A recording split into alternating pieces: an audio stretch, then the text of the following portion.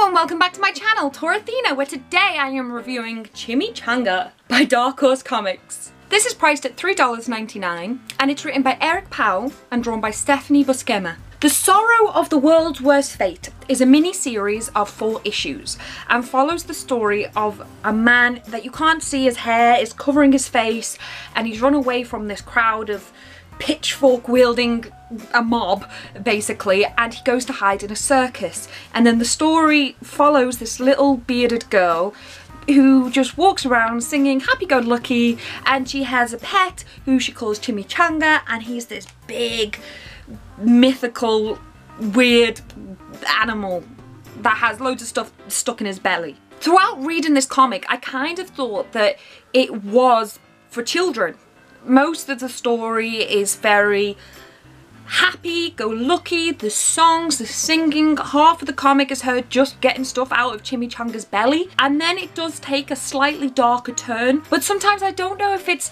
it's a darker turn because I'm an adult who understands what's going on. Because when you watch cartoons that are for kids you'll hear jokes that are for adults and you'll be like oh, that's not for children but it is because they're children, they don't understand those jokes.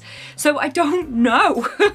this particular issue sets up a lot of mystery. Who is this man? Who is Chimichanga? Why can he stuff stuff up his stomach? And everything else where I'm not going to explain because that would be giving part of the plot away. The art once again made me think that it is for children because as you can see it's very colourful, it's very bright, the animation itself is very soft, it's very expressive, it's very animated. You could easily see this be a Saturday morning cartoon show.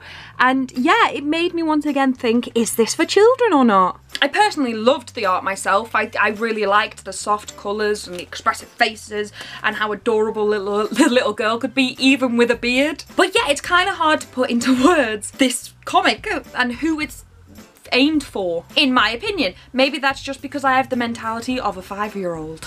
Overall, I really enjoyed this comic and I really do want to pick up issue two just to see if I can have any of the questions I've got answered. However, personally speaking, if I was on a budget that week and it was between issue two of Chimichanga and a couple of other issue ones that I didn't know anything about, I would probably pick up the issue ones over the second issue. If money was no object, yeah, I'll pick up issue two and see where, where it goes.